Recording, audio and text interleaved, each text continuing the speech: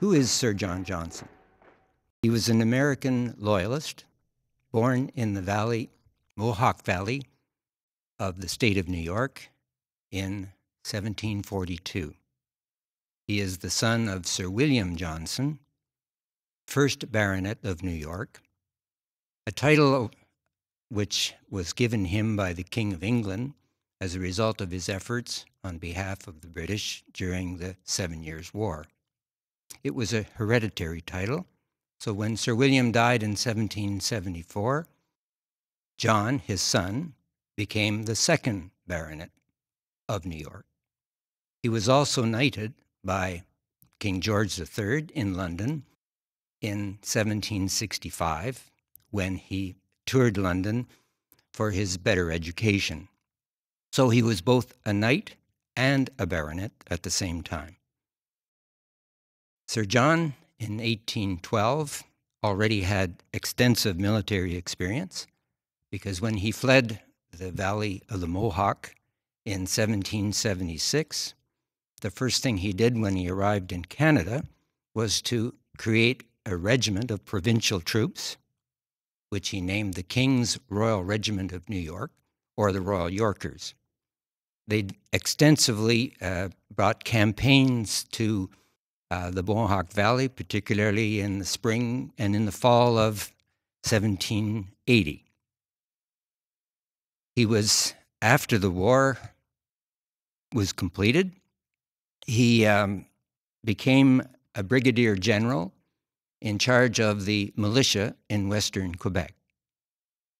In 1812, he was by then the colonel commandant of the six battalions of the Eastern Township Militia, a position which he had held since 1804. Sir John was also a Mason, a tradition which he had started in the Brotherhood in New York. And he became, while in Canada, the provincial Grand Master of the Quebec Grand Provincial Lodge. He was also a legislative counselor, appointed initially in uh, before the separation of Quebec into two provinces uh, he served until 1791 and again was appointed legislative counselor in 1797. So in 1812, he was also serving as legislative counselor, which often took him to Quebec City. He was the seigneur of Argenteuil, of Monnoir, and parts of Chambly, which, uh, with other landholdings in both Lower Canada and Upper Canada, uh, created a pool of tenants and settlers that saw action uh, in the militia, both in Upper Canada and Lower Canada. Many of the uh, soldiers and militiamen of the six battalions of the Eastern Townships were, in fact, uh, settled on lands which he was the seigneur, also in lands which he had helped to settle after the war. He served as the superintendent of refugees, which enabled him to place, among others, his former soldiers along the north shore of Lake Ontario and some as far as Baie des Chaleurs in, uh, in Gaspé. In 1812, uh, Sir John was 70 years old, already a good part of his life uh, behind him. He resided in a substantial stone house on St. Paul Street, across from the Bon Secours Church, and where the site today is in the uh, eastern portion of the Bon Secours Market. It was a property that served also as the office of the Indian Department, of which he was superintendent, which caused some uh, difficulty for him at one point he asked that he be allowed the opportunity to open a separate office because Native Indians were forever coming into his house unannounced and proceeding to his offices. So in 1812, then, we find Sir John as superintendent of Indian Affairs. We find him as head of six battalions of militia in the eastern townships, legislative counselor, seigneur of three major properties in Quebec, and still ready to serve. We'll now proceed to look at the military contributions of his extended family, because apart from Sir John himself and the role he played in the War of 1812, his extended family also uh, had an important, uh, played an important role as well.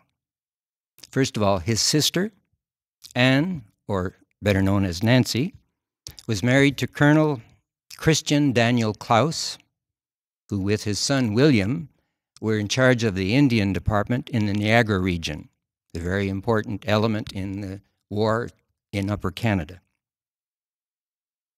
Sir William, his father, after uh, Sir John's mother died, subsequently married a native Mohawk named Molly Brant, sister of Joseph Brant, with whom he had a number of children. Four of his daughters married or were uh, associated with military during the War of 1812. Elizabeth married Dr. Robert Kerr, military surgeon in the Niagara region.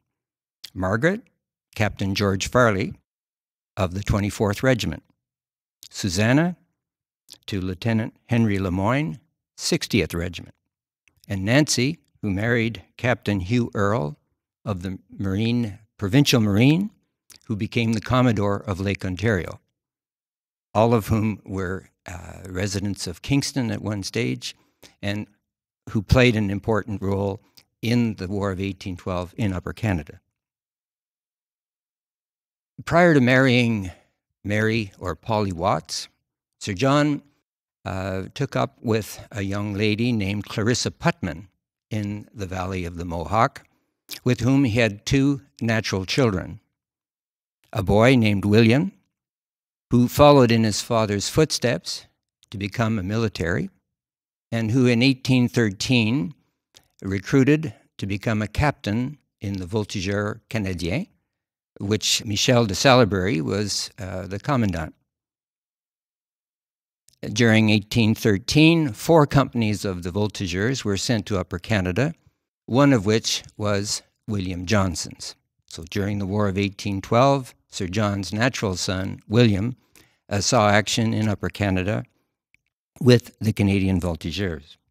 Along with him, he had two brothers in law, Simon and William Clark, so that an extended family went as far as to include those individuals as well.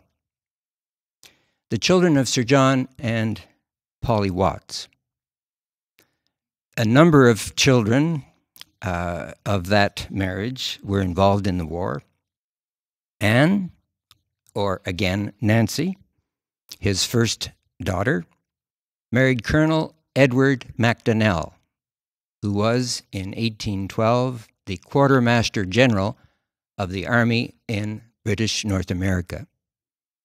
He was uh, responsible, therefore, for all the, the materiel, if you will, uh, that the British Army uh, had to deal with in Upper and Lower Canada.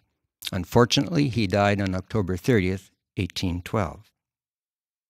His firstborn son, William, who had returned to Canada, and who was lieutenant governor of the garrison of Quebec, inspecting field officer of militia, unfortunately died early in January of 1812.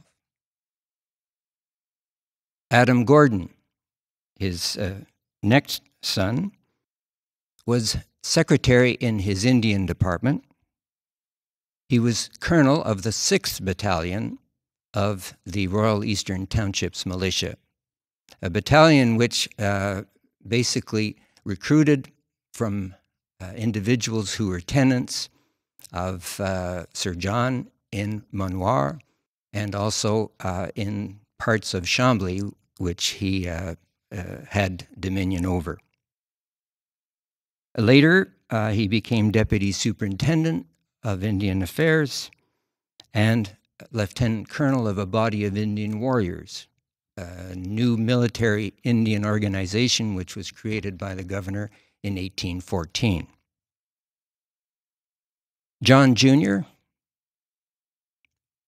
who resided in a manor house which Sir John constructed in Saint Mathias sur Richelieu, which still exists today, uh, and which was uh, transferred to John by Sir John in 1818, was Major and later Lieutenant Colonel of the 6th Battalion, succeeding his brother Adam.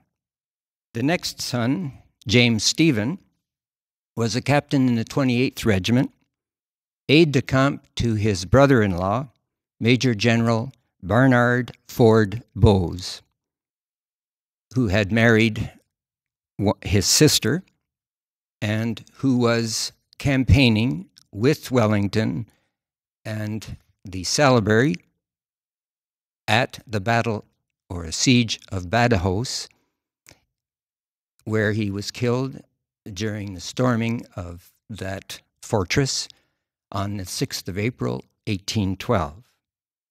During that storming, Major General Bowes was also wounded, although not dangerously. In the same uh, conflict, uh, Lieutenant Simcoe, who was the son of the former Lieutenant Governor of Upper Canada, was also killed the same day, along with the youngest of uh, the Salaberry children, who was in, in the Royal Engineers. So it was quite a, a disaster for uh, not only those families, but a great number of others who uh, died at the battle or the siege of Badajoz. Catherine Maria, she uh, married Colonel Bowes, who subsequently became the Major General and who subsequently uh, was wounded at Badajoz. While he was Commander in Chief in Lower Canada, uh, prior to uh, his departure for uh, the war with Wellington. Robert Thomas, captain in the 100th Regiment, was stationed at Île-aux-Noix and unfortunately drowned there while returning to service at the end of March 1813. Charles Christopher served with the Dragoons, but during the War of 1812 was abroad during that conflict.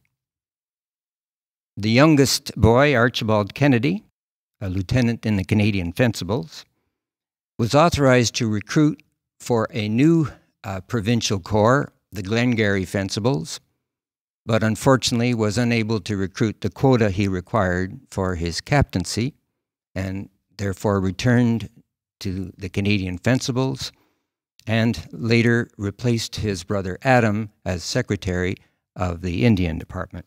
Others related to uh, Sir John who were involved in the war Philip Byrne, the son of William Byrne, a former captain in the King's Royal Regiment of New York, who became Sir John Johnson's intendant in Argenteuil and Monnoir and Chambly. In other words, who looked after the collection of his quit rents uh, and looked after all of the uh, business aspects, if you will, the mills that were constructed, uh, the arrangements with millers, etc.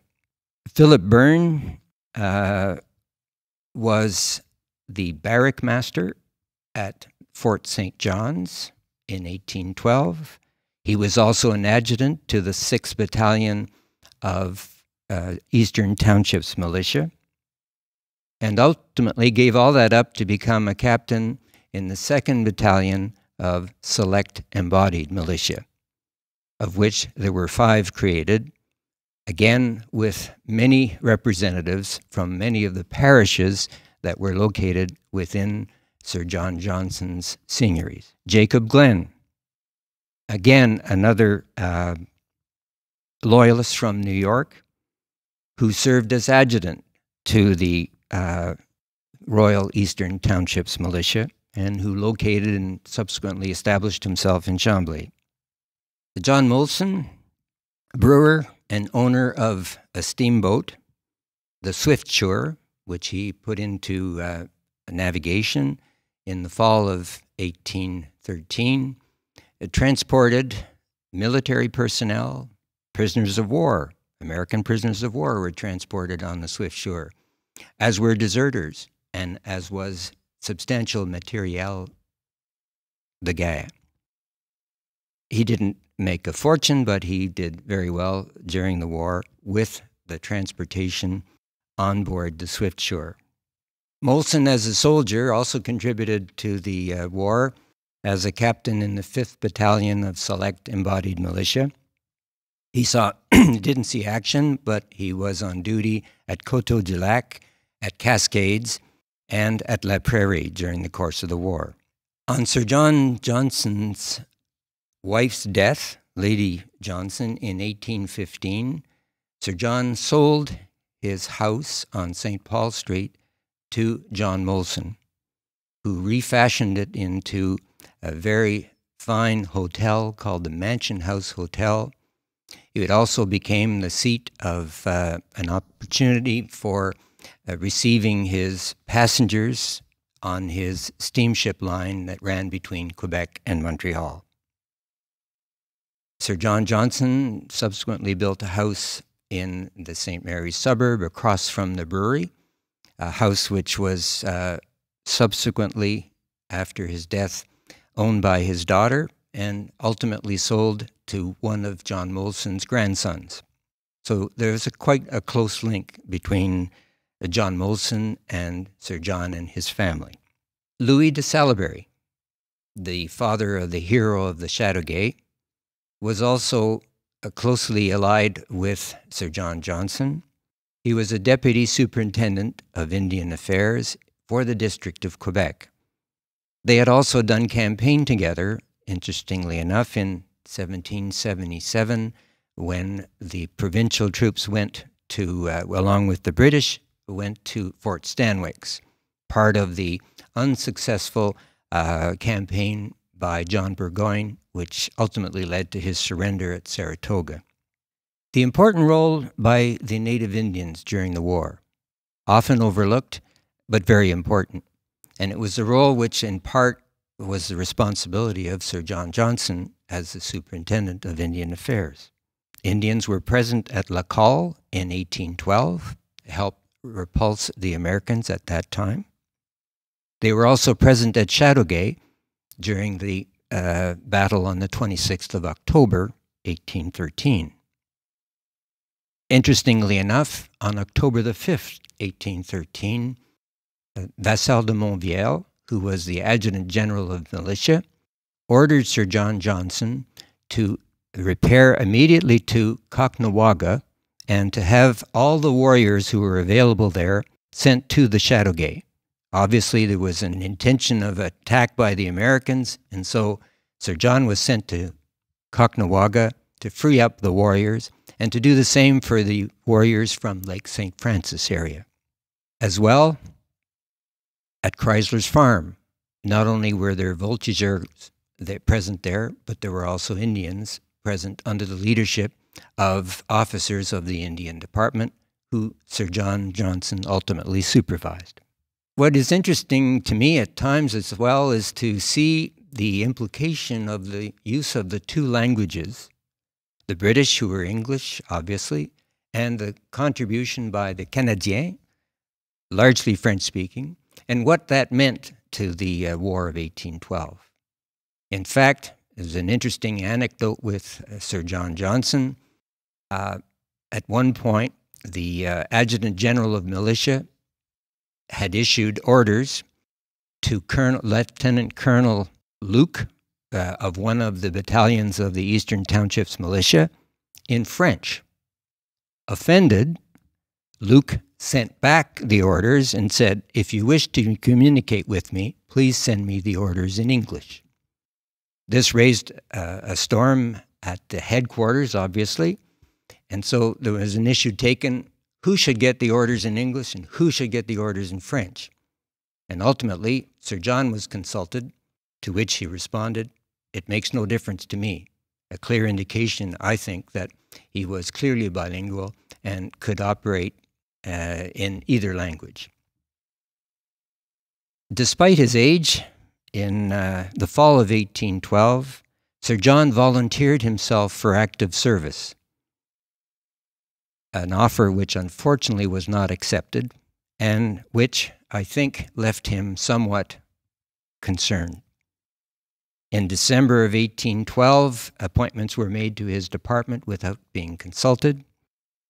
And in the spring of 1813, uh, it seemed as though he was just simply an administrator and was not called upon uh, to be actively involved.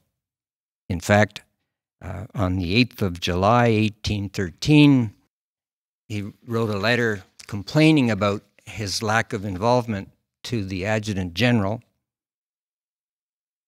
He, uh, it was written from Montreal on the 8th of July. Having done everything, everything in my power to bring the six battalions of Eastern militia into some kind of order, and having nothing further to do, and then in parentheses he puts, not having, not being employed on active service, other than to copy and forward orders, I beg leave to decline any further service at this time, which you will please to communicate to the Governor in Chief. A very strong comment about his usefulness and to ask that his offer to decline any further service be brought to the attention of Governor Prevost, a, a pretty clear indication of that. Notwithstanding his request, uh, Sir John was kept in function uh, to the end of the war and continued to act as Superintendent of Indian Affairs until shortly before his death in 1830. He was also responsible uh, and involved in the formation of two frontier light infantry companies. The first and most important of which was uh, headed up by Captain Ritter, formerly of the 100th Regiment. Uh, two companies which saw action with the Canadian Voltigeurs under uh, Charles Michel de Salaberry. In conclusion, uh, one can see that not only Sir John himself, but extended members of his family and people with whom he had a relationship were involved in the War of 1812, and it's a credit to Sir John uh, that he and his family uh, chose to participate in that way. Thank you.